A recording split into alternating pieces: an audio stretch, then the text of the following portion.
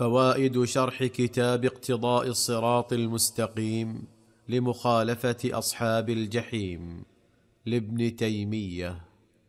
قالوا ذلك نسبة إلى الجهل الذي هو عدم العلم أو عدم اتباع العلم. فإن من لم يعلم الحق فهو جاهل جهلا بسيطا. فإن اعتقد خلافه فهو جاهل جهلا مركبا. نعم الجاهلية مأخوذة من الجهل وهو عدم العلم. نعم. لأنهم كانوا قبل بعثة النبي صلى الله عليه وسلم في ضلال مبين كما أخبر الله عز وجل.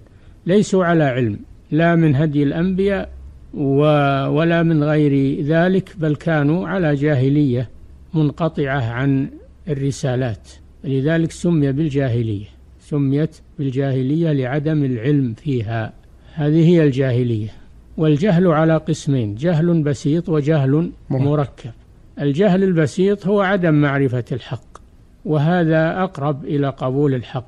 قد يكون ارتكب الخطأ لأنه لا يعرف الحق فإذا بين له الحق قبله. هذا هو الجاهل البسيط.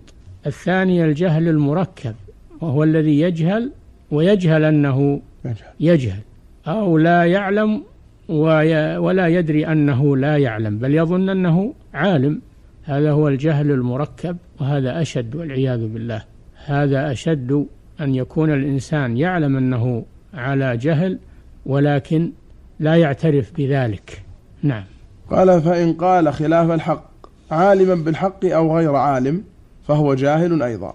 إذا قال بخلاف الحق فهو جاهل سواء كان جهلا بسيطا أو جهلا مركب. مركبا. لكن الجهل المركب أشد من الجهل البسيط. البسيط لأن الجاهل البسيط يقبل التوجيه وأما الجاهل المركب فلا يقبل التوجيه في الغالب فهو أشد.